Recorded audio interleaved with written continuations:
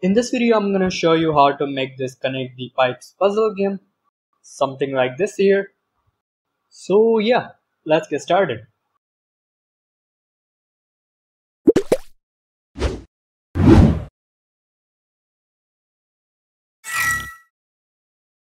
So here I've already set up the tiles for our puzzle as a grid layout on top of which we are going to place our pipes. So if we go to the sprites folder and I've already changed their names. And they look pretty awesome. Which is all thanks to this guy Kenney for his puzzle pack which you can just download for free. And of course I'll drop the link in the description so go ahead and download it. That back inside of Unity now the first thing we need to do is to make our puzzle by placing these individual pieces on the board. So let's start with the start pipe, place it inside the hierarchy. And also change the order in layer to 1 and let's place this at the top where you want to start your puzzle from. So I'll just place it somewhere around here. And also let's make this a tiny bit bigger 1.2 will do just fine. Alright so yeah this looks good. Okay so so this is where we will start our puzzle from. And we will be connecting all the other pipes from this end to the endpoint. And for that let's drag and drop the end pipe here.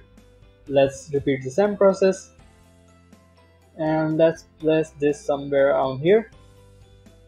Yep this looks good also let's change the rotation and between these two points we have to create our own puzzle.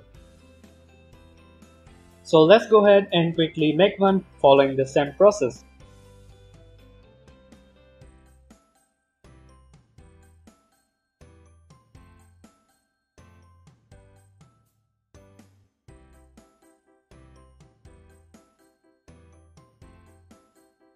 Alright, so yeah, this looks good enough. Make sure you keep the pipes in the correct rotation at the start so that we can see how it looks when finished. And now all we need to do is make make an empty game object here and let's call this pipes.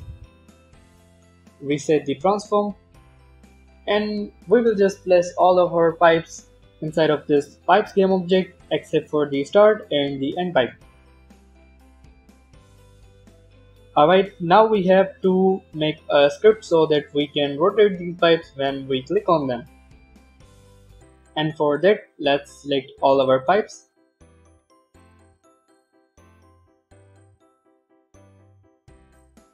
And let's create a new script, call it pipe script. Create an add. And inside of this, we can just get rid of both these methods and we will create an on mouse down function here. So void on mouse down. So now when we click on the pipes we will change their rotation. So let's type in transform.rotate and put in a new vector 2 0 0 for both the x and y and for the axis we will type in 90 alright. And also we need to randomize the rotation at the start. But first let's make a float array for all the possible rotations. Let's call this rotations. And let's give it some default values. So ranging from 0 to 270 so let's type in 90 180 and 270 so these are the possible rotations our pipes are going to have at the start. So in the start method let's get a random number random node range and we'll get a number from 0 to the rotations dot length.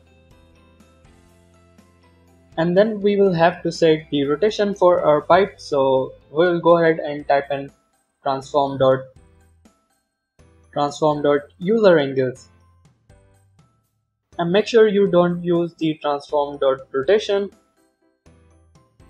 because it is a quaternion and and we don't want to deal with the quaternions. Instead, let's use the Euler angles which is a vector 3. So let's so let's set this to a new vector 3 like we did down here.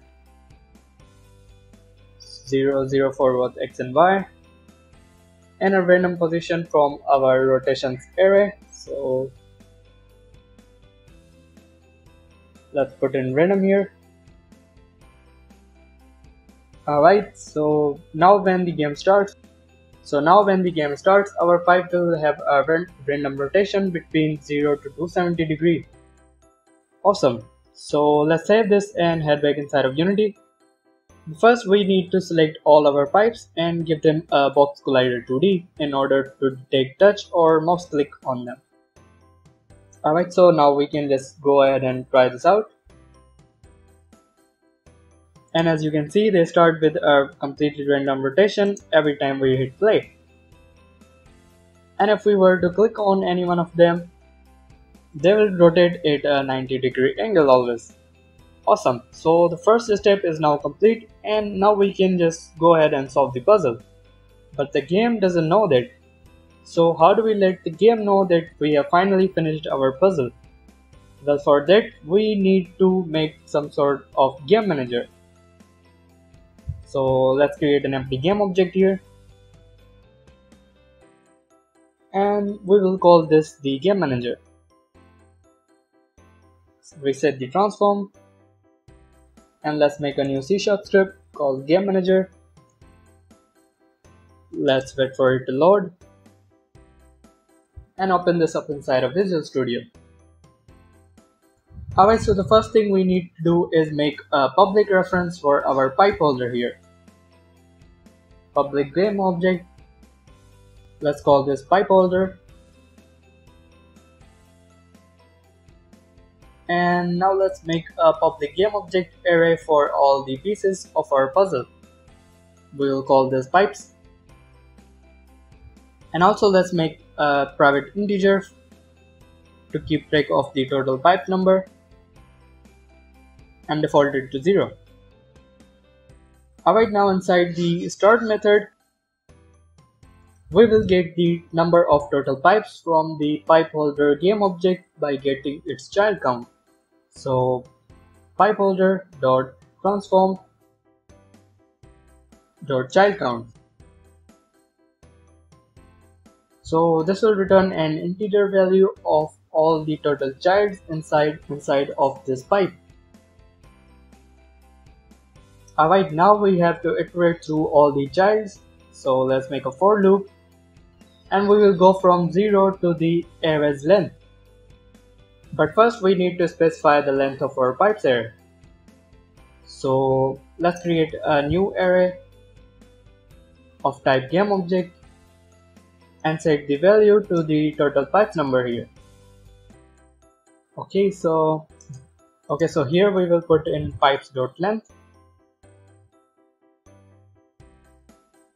and here we will assign the pipe game objects from the pipe holder game objects child one by one.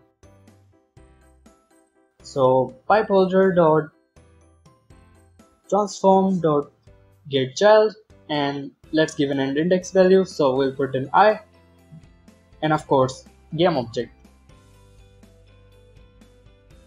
awesome so we are getting the childs from the pipes holder and we are arranging them inside the pipe array Cool.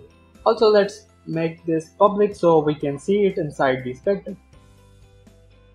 Or instead, just mark this as a serial field. Alright, so let's save this and head back inside of Unity now.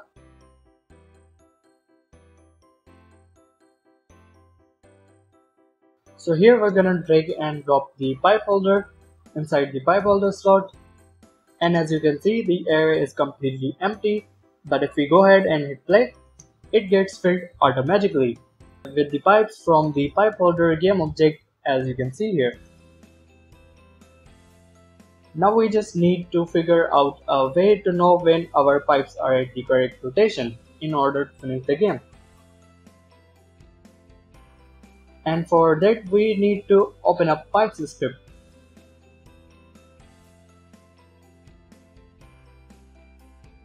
and here we will make a public float for the correct rotation of our pipe.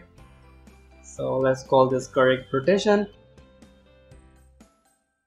And also let's make a private boolean to check if it is correctly placed. Let's call this is placed. And we will default it to false. Alright so now if now we can alright so now we can check if our pipe's current rotation is the correct rotation. So inside of the on mouse down we will check if transform dot Euler angle of our pipe transform dot Euler angle dot z we will check if it is equal to the correct rotation. And also we will check if is is equal to false and if it is well then we will just set the is placed is equal to true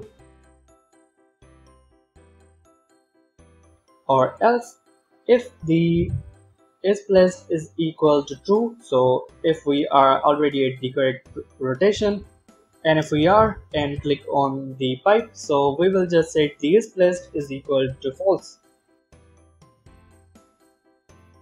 Alright I think this should work but we also need to check this inside of the start method too as we are changing the rotation at the start too so let's just copy and paste this Also we don't need to check this as we know it will always be false by default. And yeah, let's also get rid of this else if statement here.